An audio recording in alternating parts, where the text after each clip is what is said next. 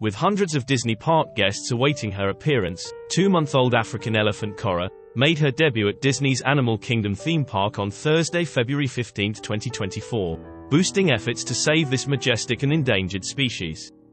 Wide-eyed baby Corra is 312 pounds and stays close to mom Nadirah, while exploring her new surroundings at Kilimanjaro Safaris.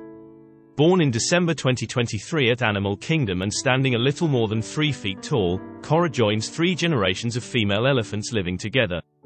Corra's mother, Nadirah, was also born at Animal Kingdom, making Corra the first second-generation elephant in Animal Kingdom's history. Nadirah's little sister Stella, born in 2016, has passed on the title of youngest elephant on the safari.